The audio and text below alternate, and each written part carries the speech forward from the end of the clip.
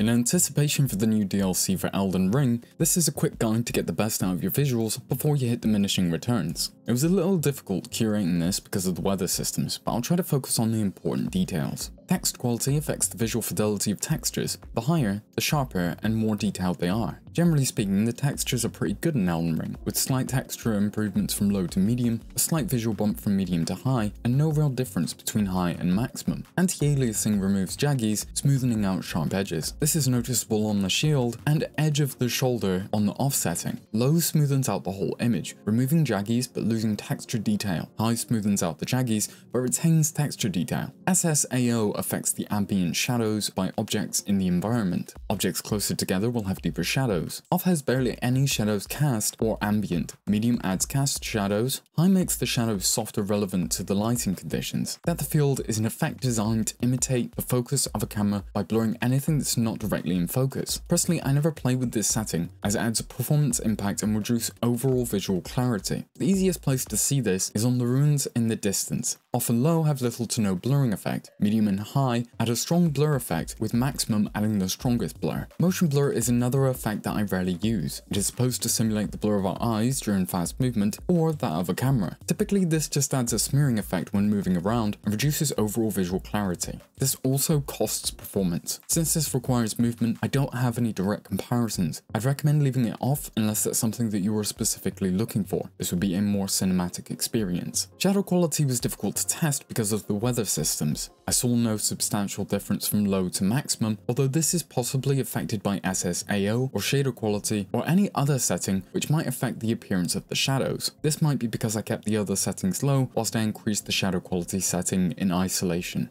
Lighting quality is a broad term, so it's hard to describe what this actually does. I noticed a big difference between low and medium, but very little from medium to maximum that I couldn't attribute to the weather systems themselves. From low to medium, there is an orange hue shift, so perhaps this affects bounce lighting and overall visual lighting, contextual to the time of day. Effects quality increases or decreases the amount of particles present in things like spells, ashes of war, fires, and sites of grace. There is a minimal difference between low to medium. High has a smoother looking trail, maximum has the biggest trail to follow and the most particle effects. Volumetric lighting affects the quality of fog and clouds. There is a minimal difference between low and maximum. Potentially this is lighting based and refers to the lighting going through the fog, but this is such a niche case that it's otherwise irrelevant. This setting has a big performance impact and so should be kept low for stability's sake. Reflection quality determines the amount of ripples and how detailed reflections are on the surface of the water. With low, you'll have few ripples and reflections will barely take into account cast shadows. Medium has more ripples, cast shadows are present although unrefined, and high has more detailed ripples